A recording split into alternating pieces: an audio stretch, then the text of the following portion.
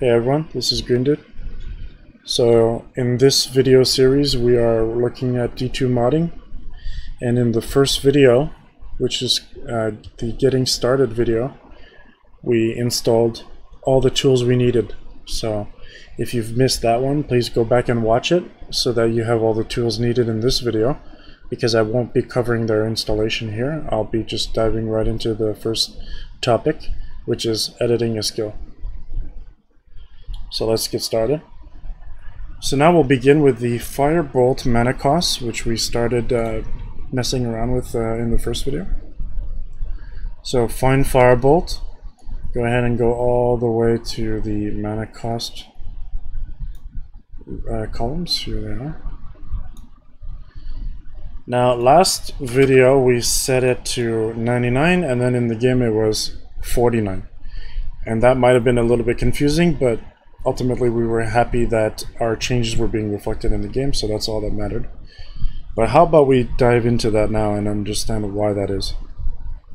Firebolt has a mana shift. This is the mana shift column. Has a mana shift of 7. Now, when the mana shift is 8, then the value here for mana cost uh, is used exactly as you type it in. So in this case, 99. With a hit shift of 8, the cost will be 99. And we can test that right now. Good day. Oops, I need to save first.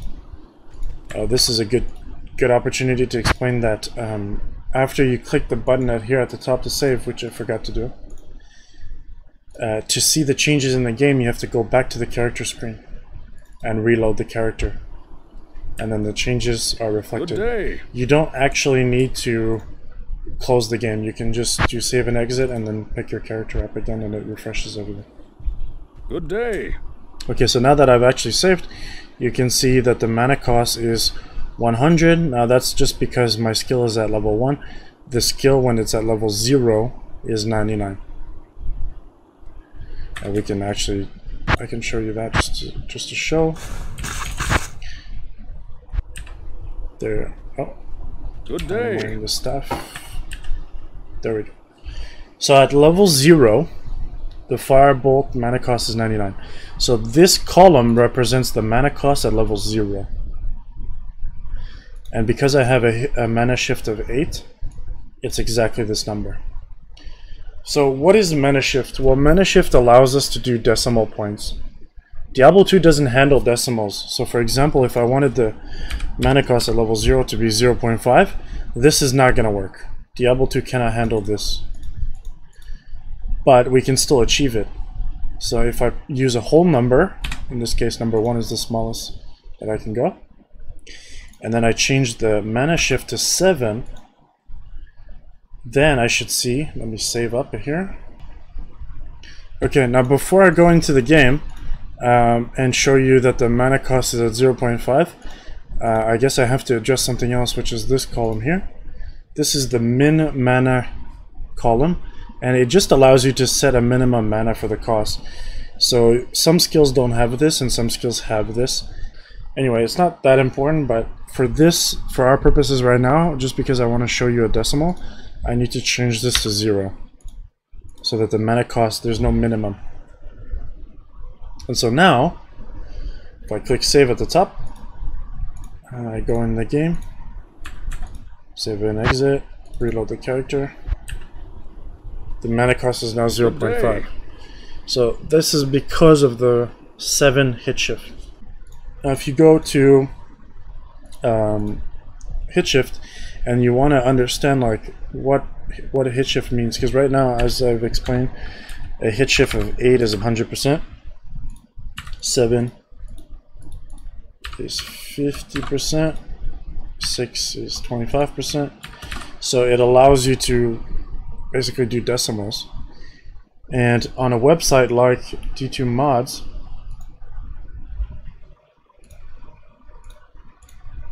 uh, here it is so on a website like D2 Mods you have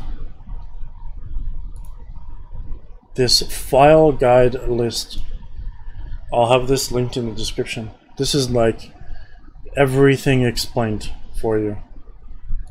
And you can see uh, right now we're working with skills.txt, so you should open this one. And then if you search for mana shift, you can see that mana shift, this field controls the precision of the mana cost. And the mana cost is handled in 256. This is again because there's no decimal. So if you look at this table here, at 8, it's 256 divided by 256. So it's, it's 100, or 1, right? 100%. 7, it's 128 divided by 256, that's half. And then so on. 6 is 64 of 256, which is a 25%, and then it's 12%, and then it's 6.25%, etc. So you can control um, the mana cost more um, precisely with this. So don't don't hesitate to use the D2 mods forum. Uh, it's I think it's a valuable resource. So now that we understand this, let's do some changes to Firebolt. So how about the starting mana cost, we want it to be 1. And we want the ma so let's write it down so we're clear. Uh, actually, for start, I should say level 1 cost is 1. Because at level 0, it doesn't really matter. And then cost per level we want it to be at 0.5. This is what we're trying to achieve for Firebolt. But we've got a problem. If we use a hit shift of 7, or sorry, a mana shift of 7, and which means 50%, right? Then if I put in this column level mana a 1, that means that every level the mana cost is going to go up by 0.5. And that's exactly what we want. We want the cost per level to be 0.5. But this applies to both these values. The mana shift applies to the mana cost at level 0 column and the mana per level column. So what does that mean? That means right now at level uh, 0 the skill is 0.5 and then it goes up by 0.5 per level. So that's this this part is working. This part is not working. So what should we do? Well, we should increase it. If I double it, then mana shift 7 means 50% of that, which is will be 1. But that's not quite right yet. So if I go into the game, you can see that the mana cost is 1.5 at level 1 and that's because the mana cost from this row here Good day. is for level 0. So you can see now it's working. At level 0 it's mana cost 1. But then when I put 1 point into it, oops, when I put 1 Good point day. into it, it goes at 1.5 at level 1, which is not what we want. So actually we should start it at 1. Then at level 0, it's going to be 0.5. At level 1, it's going to be 1. And then at level 2, it's going to be 1.5, which is perfect. Because again, we're trying to achieve level 1 cost to be 1. Perfect. And then level 2, level 3, etc. goes up by 0.5. So this is what we want to achieve. And so the way to do that is by having both that 1 and 1 with a mana shift of 7. So let's try it, see if we got this to work. Refresh the character. So, Firebolt is now level 1. It has a mana cost of 1. And now I'm gonna level it to 2. And it's at 1.5, so it's working. So now you know how to adjust the mana cost of skills.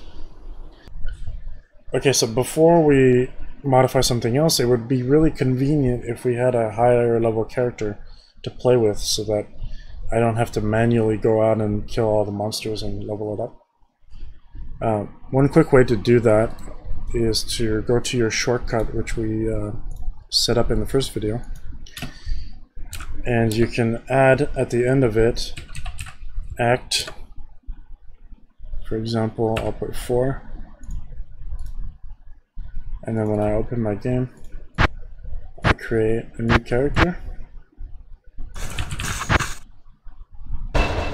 and she's in Act 4 and she starts with a higher level. If you set Act 5 you start I think at level 30.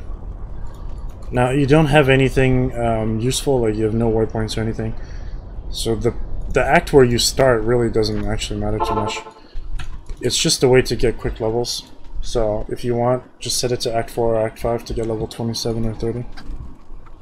If you want a higher level than that, don't worry, we can um, get a level 99 in a different way, but I'm not going to cover that in this video. So for now, if you, you can just use that if you want.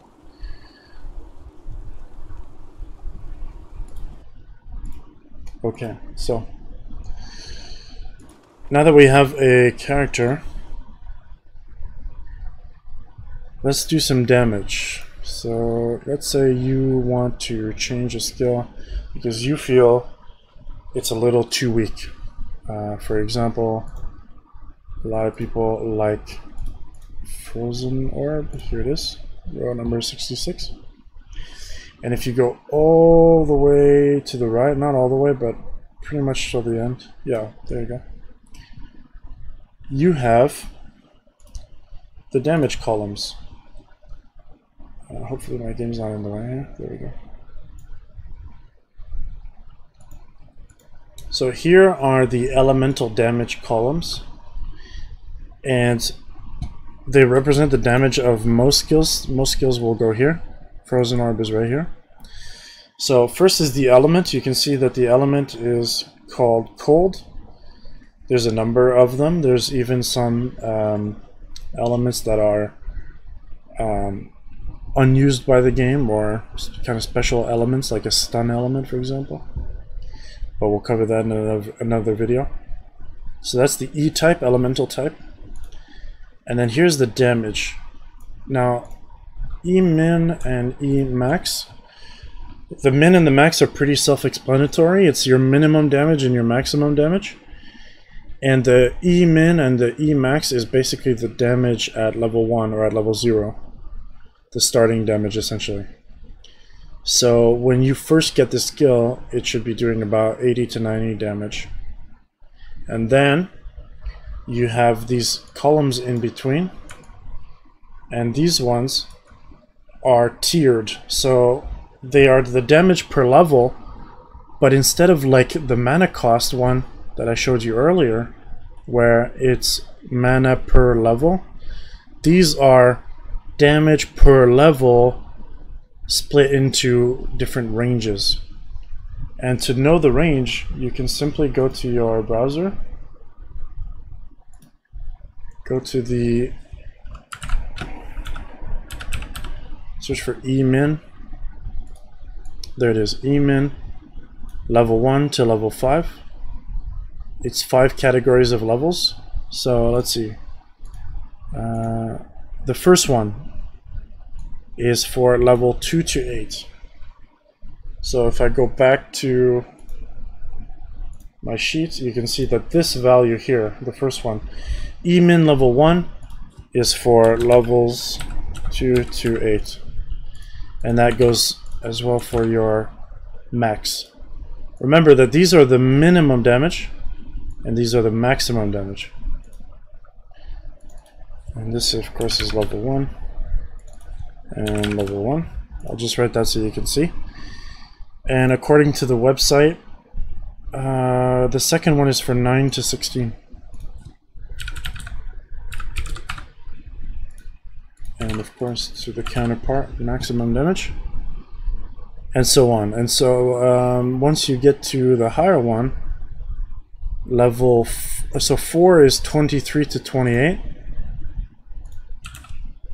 So you can see it goes above the max one, above the max of 20. And then there's even one more. The fifth one is for uh, 28 and above. So 28 plus.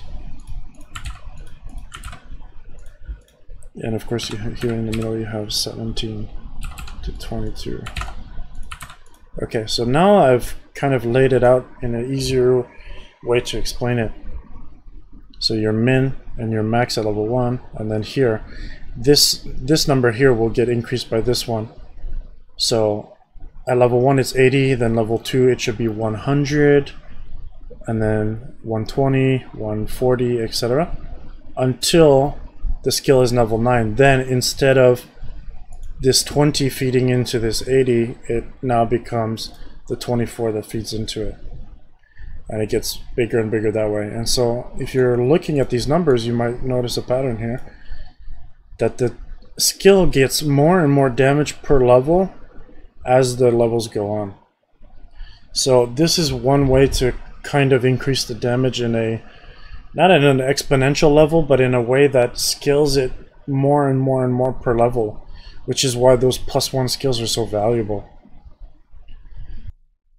So let's have a look at these uh, synergies. So this here is the column, and the reason I've stretched it out so big is because this one can accept formulas. Unlike these ones here, which are just um, flat numbers, you cannot add uh, other text there. But these ones you can uh, create a formula. And so first thing that we usually do is reference a skill. And that's done by typing skill, open bracket, open uh, single quote, and then you reference the name of the skill.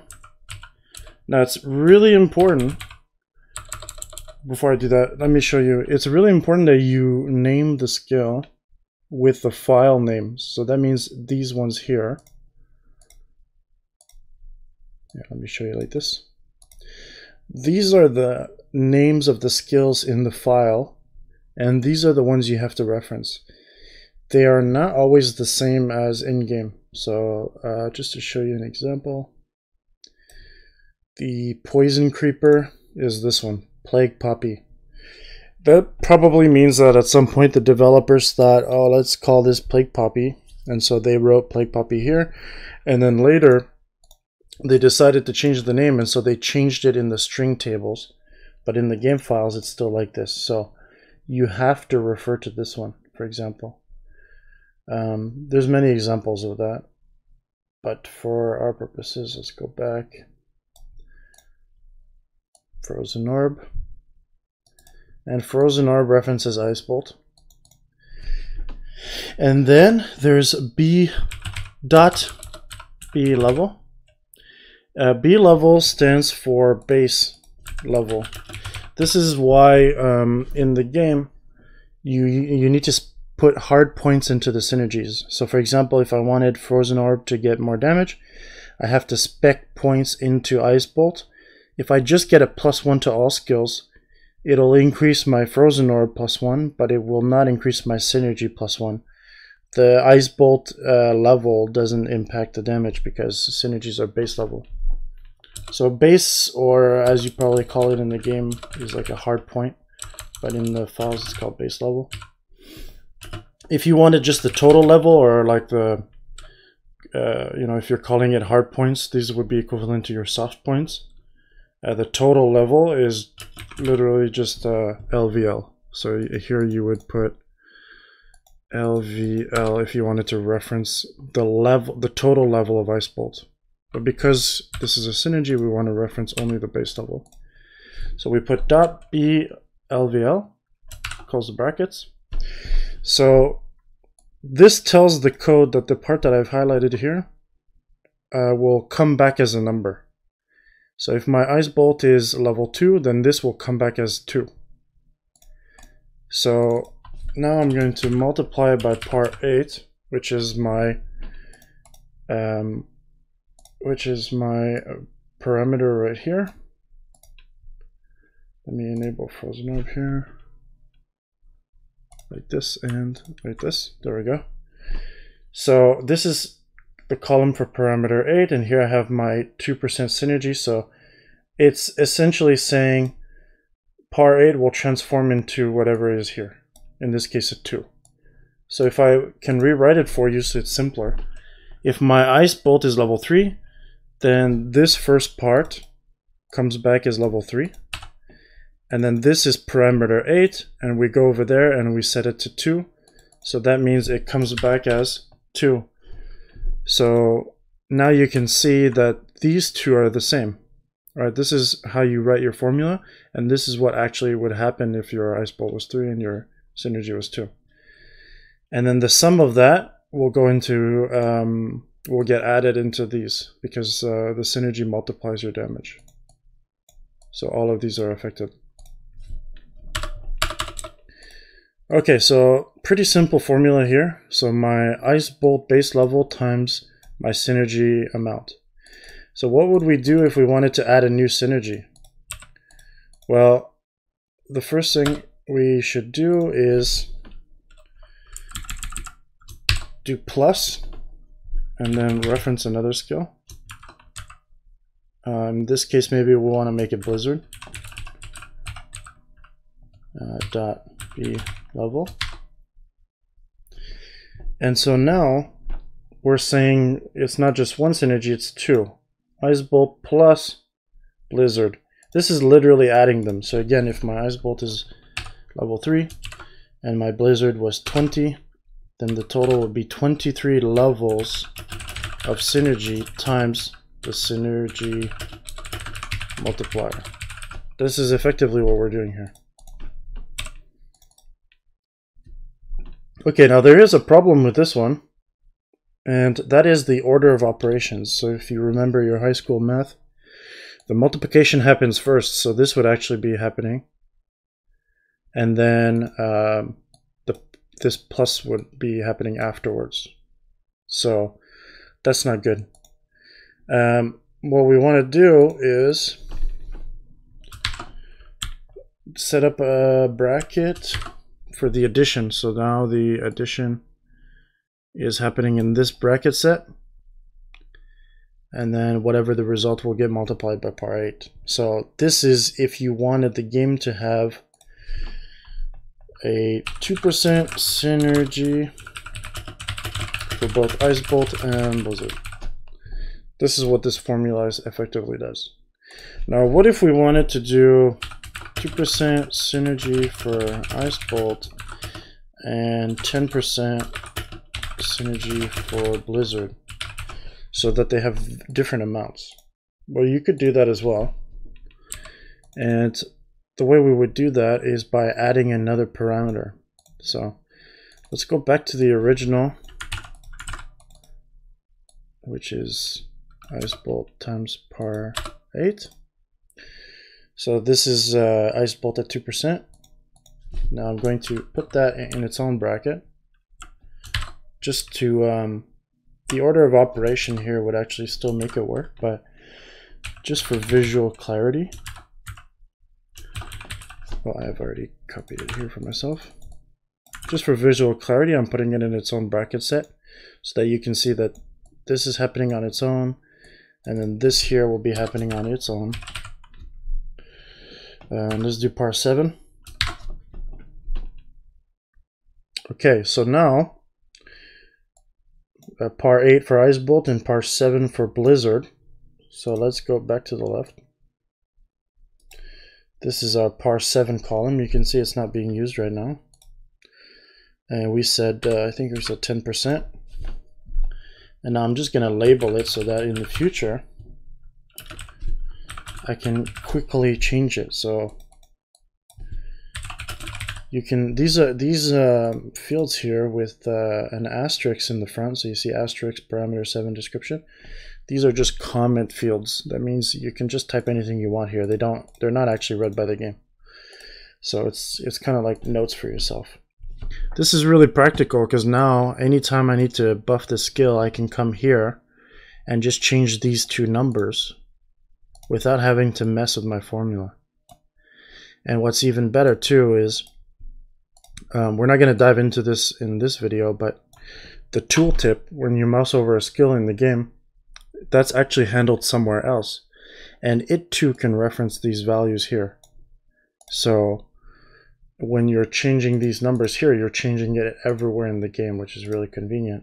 So that's why it's good practice to try and use the, the pars some skills will have their par uh, all used up, and I'll show you cool tricks to avoid that in another video, but that's beyond the scope of this one. Okay, so now we should save and go in the game and test it out. So let me boot up my game. There we go.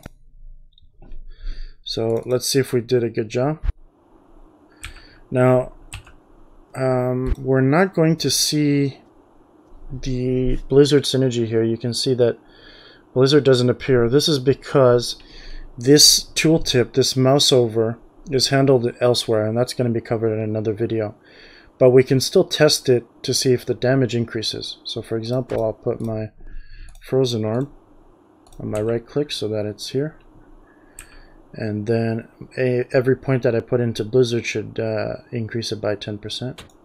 And so you can see that the 10% synergy is working. And of course Ice Bolt is still working as well.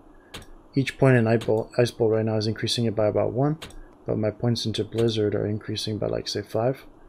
So you know that this one is a bigger synergy. So it's definitely working.